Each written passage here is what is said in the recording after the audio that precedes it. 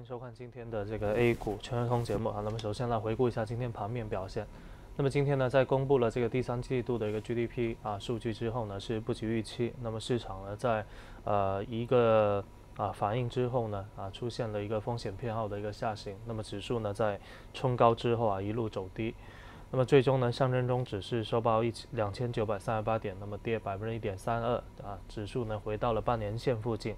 上证五零方面呢是跌百分之一点六一啊，那么跌幅比较大，收报两千九百六十三点。创业板指方面呢微跌百分之零点五八，收报一千六百四十八点。那么两市成交呢，今天这个啊下跌的时候呢，这个量有所回升到四千一百五十八亿，港资呢是净流出了这个一个亿左右。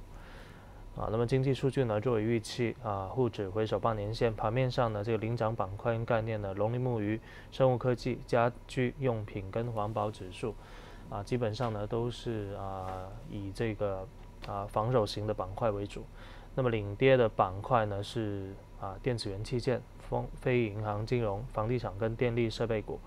那么可以看到呢，今天呢是权重跟这个啊科技题材呢是啊一起这个下跌。那么盘面上来看的话呢，今天情绪啊是极差，啊这个跌多呢涨少啊，那么。呃，基本上跌幅呢在百分之二、百分之三左右。那么原因呢，就是刚才提到了经济下行压力呢比较大，啊，市场的风险情绪偏好呢下行，加上呢现在这个业绩啊发布期呢，这个资金选择观望，以及呢四季度啊这个市场呢啊一般风格会趋于保守，啊，因为这个年初这个获利不少啊，所以这个时候呢一般也不会选择太激进的去啊增加这个仓位的配置。那么早上呢，统计局的消息，第三季度呢，内地 GDP 啊是回落增长呢，这个增速是回落到百分之六六左右，啊，那么这个百分之六呢是今年全年的一个目标，啊，一个区间的一个底下限啊，那么如果这个位置跌穿的话呢，啊，对市场明年预期啊会比较负面。那么这一次呢，呃，尽管说这个百分之六呢是弱于市场百百分之六点一的预期啊，但是呢也是弱在落在了这个预期的一个区间里面了哈，所以呢。呃，并没有这个想象中的啊，这个那么啊负面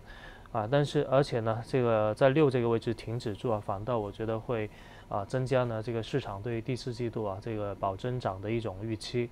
那么官方这个一些机构呢也啊预给出了预计，在第四季度呢啊会有一个啊百分之六以上的一个 GDP 预期增长。那么全年呢还是有希望啊这个啊这个维持在。啊，年初定下的一个增长目标里面。那么这一次呢，呃，GDP 公布的同时，也公布了九月份的一些细项数据。啊，比如说呢，工业增加值这个数据呢是增加百分之五点八，啊，远远的超过预期。那么这背后呢，我想一方面有逆周期的一个政策跟货币政策的一个支持，啊，包括 PMI 的一个率先反弹也比较符合这个趋势。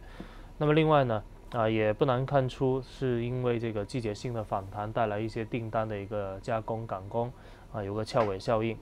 啊，那么如果我们再往进一步看，实际上这一次呢，这个地产投资啊是趋趋稳，那么消费呢啊也是符合预期，但问题是呢，这个地产投资啊啊新刚新新开工面积的一个增速啊在不断的一个缩窄，啊，会影响未来的一个建设展望。那么另外呢，消费方面呢，啊，如果考虑这个物价的问题啊，实际上增速呢也是比较有限的啊。那么这里面呢，汽车的一个消费呢，虽然说跌幅在收窄啊，但是呢，短期要大幅提振呢，我觉得难度还是有的啊。那么另外呢，就是固定资产投资跟出口呢，这一次呢也是弱于预期。那么固投方面呢，这个除了房地产以外呢，这个制造业投资啊也是偏弱。啊，那么出口方面呢，前期这个进出口数据呢，双双不及预期，受到贸易战影响。啊，那么这里面的基建呢是有一个延续反弹的趋势，但问题是呢，这个反弹的力度啊比较小。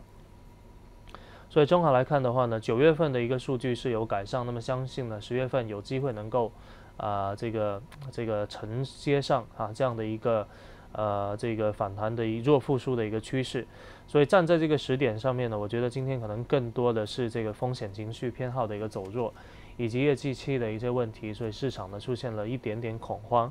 但是呢，四季度啊，可能并没有想象中的那么担忧啊，那么差。那么当然了，这呃重点呢要关注一下这个十月份的几个会议啊，包括呢会对房地产啊，呃一些重要行业的一个啊这个经济方面可能一个展望啊，一些这个规划。定向啊，以及呢可能有一些啊货币政策的一个讨论，以及逆周期啊措施的调节，加上了这个财积极财政政策的一个施行。啊，那么呃，当然也有部分声音认为呢，这个政策发力的一个空间已经不大，啊，所以呢，这个情绪呢也是啊，这个有好有坏，啊，但从数据来看的话呢，呃，企稳反弹的一个趋势还在啊，加上了这个经贸谈判呢，啊，最近出现一一定的一个转机，啊，所以基本面来看的话呢，现在觉得特别差的话呢，啊，我觉得也是有点啊过过分这个担忧。那么下星期呢，这个随着业绩期呢。呃，越来越接近这个月底啊，这个业绩期过呢，新一轮的一个啊，至少反弹炒作的行情啊，可能会到来。所以呢，重点留意一下十月份呢，这个越来越接近下旬的时候呢，一些啊，这个这个所谓的啊阶段性的一个机会。好，那么来看一下今天这个一个板块啊，券商指数。那么左边这个图呢是券商指数的一个 K 线啊。那么大家都知道呢，这个券商呢是大盘的一个先行指标。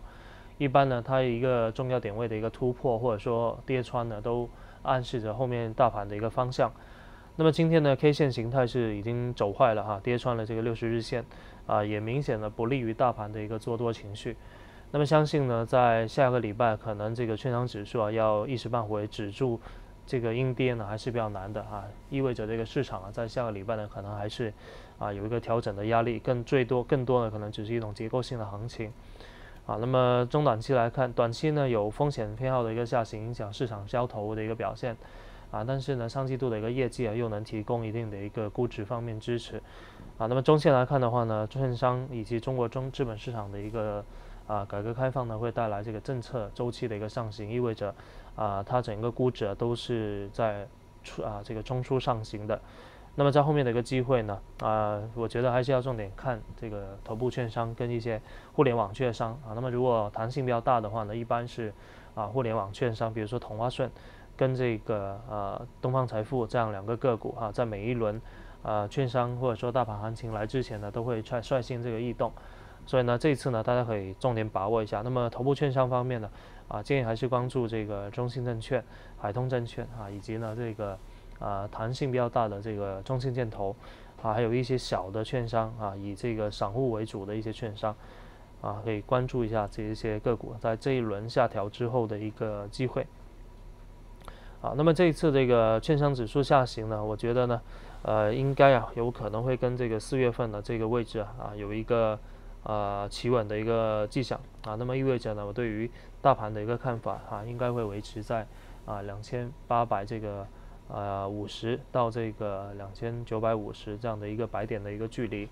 那么相信呢，如果这一次啊这个数据能够照好的话呢，啊实际上是这个指数走上上千的机会还是比较大。但现在出来的话呢，啊昨天缩量之后，今天已经定了一个方向，所以短期呢也比较难有大的一个行情啊。那可能催化剂呢，啊我们放在下个月这个中美经贸方面谈判呢，啊有没有一些这个惊喜出来？